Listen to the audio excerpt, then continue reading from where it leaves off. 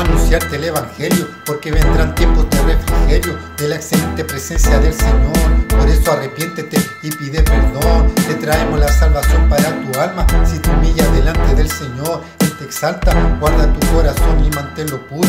Y siempre caminarás seguro. Jesucristo es mi escudo y fortaleza. Solo sus hijos pueden ver su grandeza. El Espíritu Santo cambió mi vida cuando derramó ríos de agua viva. Es hora que despierten del sueño de la muerte y conozcan la verdad que libera nuestra mente.